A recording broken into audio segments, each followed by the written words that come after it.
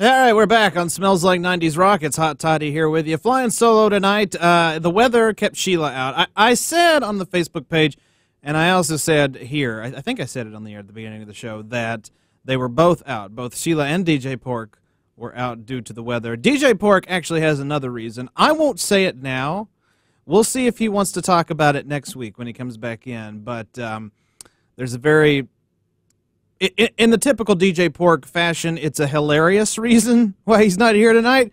Uh, but like I said, we'll we'll we'll find out uh, next week. Tonight, though, since we since I am flying solo, uh, I decided to do something that I, I love doing on the nights that Sheila and DJ Pork are not here. We we talk a little bit more about the '90s. We don't talk a whole lot about the '90s on Smells Like '90s Rock. I know we don't. We talk about you know different things going on in the world, and you know that's just kind of how it is. But you get to hear great 90s tunes. But on nights like these, I like to actually dig deeper into the 90s and uh, talk about what was going on back during that time. So I thought we'd have another edition of Headlines from the 90s. Now, it's been a year and a half since the last time we did uh, uh, headlines from the 90s. I just checked on, on our Facebook page, and it was October of 2016. That was the last time we did an edition of headlines from the 90s, but we're bringing it back tonight and uh, we're going to be doing it for you again. Uh, this time we left off at 1993. So tonight's edition of Headlines from the 90s will be from 1994. So we're going to go ahead, go ahead and get into that, and uh, it's going to be a two-parter. We'll split it into two segments. Uh, one will be this hour. One the, la- the next one will be in the next hour. So here we go. Without further ado,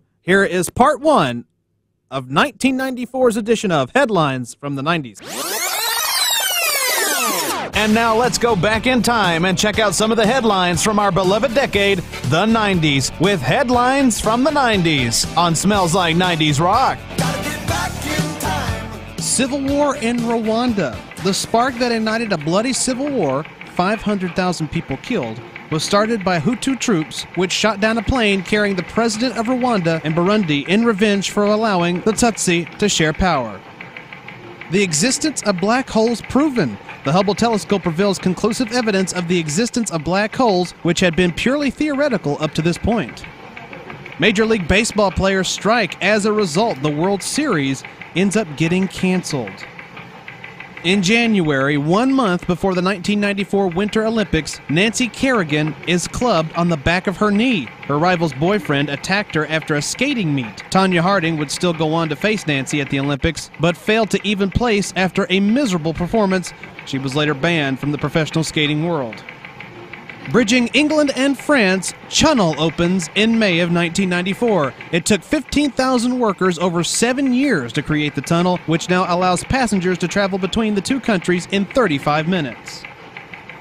And of course, on June 13, 1994, Nicole Brown Simpson and Ronald Goldman were murdered outside Nicole's house in Brentwood, California. On June 17th, O.J. Simpson and his friend Al Cowlings took flight from the police in his white Ford Bronco in a low speed chase, which ended up at his mansion where he surrendered.